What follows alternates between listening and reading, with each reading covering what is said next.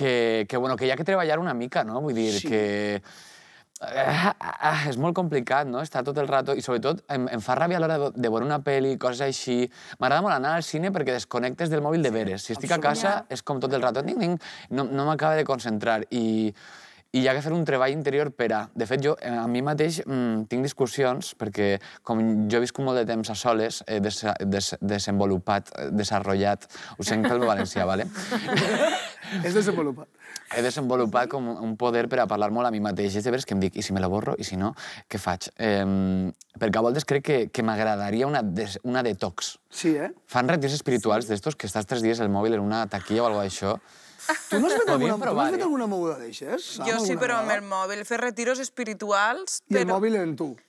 Clar. Super, és, és com superespiritual, això. O saps? sea, no, no era necessari deixar el, el mòbil apartat durant tres dies, saps? Sí que és bé veres que desconnectes realment, però al final... Però del mòbil. Al final, al final... perquè, no, perquè la desenganxada, creieu que ens obliguem més a fer-la per nosaltres mateixa o per, o per la gent un poc, per compartir un poc tot això?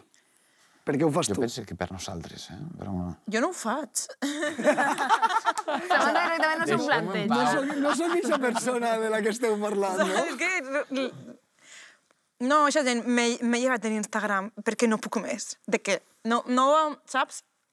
No em molesta el Això- fet de jo tindre necessitat. No, Ho té normalitzat. Vull Sí. dir, està, ho té absolutament integrat en la seva vida. Però jo que he passat molt de temps amb tu, jo estic molt enganxat, però el teu passa a ser un poc, un poc... estic dient, Un poc malaltís, eh? Estic dient que... Però que... eres conscient de que passes molt de temps en el mòbil? Sí, I no te fa sentir mal en ningú moment? no. T'ho Però promet. no vos ha passat que vos quedeu sense mòbil per qualsevol circumstància? Per, Clar, perdeu claro. dos o tres dies fins a Dos que o arriba tres l'altre? No, dos o tres que dies no. Dos o tres dies no. És que jo estic un poc en el, en el, en el clan Samantha, En eh? sèrio? Clar. A veure, però... Dos o tres dies són molts dies sense mòbils. Què fas? Jo és que Com? tinc segur mòbil. Aleshores, el segur, si tu ho perds o te'l roben, tarden dos o tres dies en donar-te un nou. Entonces, és veritat que hi ha un automatisme de, ah, voy a mirar el... i, ah, no està.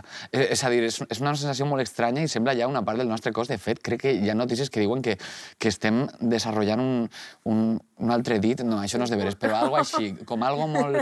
Que els dits estan començant a, a, fer, a adaptar-se, Sí. no sé, que sí que es naixen amb, no sé, amb coses sí, a, rares. a mi em passa de baixar a la gossa a passejar, eh, res, baixar una baixada ràpida i fer així, arribar al carrer, fer així i no portar el mòbil, és com... Ah! I després dic, tio, eh, no he de contactar amb ningú en 10 minuts i no passa res si estic 10 minuts atenta a per on camine. Però eh, crec que ja té nom això, eh?